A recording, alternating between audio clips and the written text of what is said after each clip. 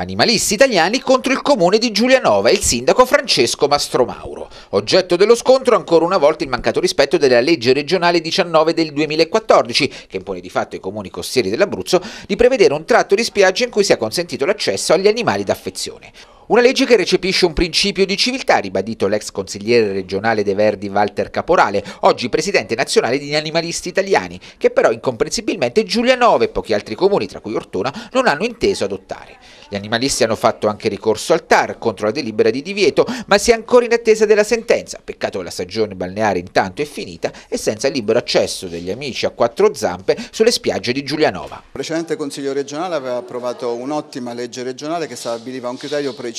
Tutti i comuni hanno l'obbligo di individuare un tratto di spiaggia per i cani, non tutta la spiaggia, ci mancherebbe. Per chi non vuole stare con gli animali non ci sta, ma almeno un tratto una buona legge che alcuni sindaci, con capofila il sindaco di Giulianova, hanno deciso di non attuare ed è un fatto gravissimo perché il sindaco è un amministratore pubblico. In contrasto con una legge regionale il sindaco di Giulianova ha fatto un'ordinanza che di fatto vietava di portare i cani in spiaggia.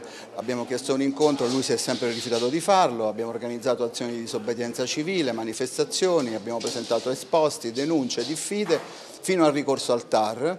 Il TAR ha rinviato la decisione da fine luglio a settembre, ora stiamo aspettando ancora altri giorni per capire che cosa stato, è stato deciso, ma il grave è che comunque abbiamo avuto una stagione balneare a Giulianova e anche in altri comuni come Ortona dove in teoria era vietato illegittimamente di portare i propri animali in spiaggia.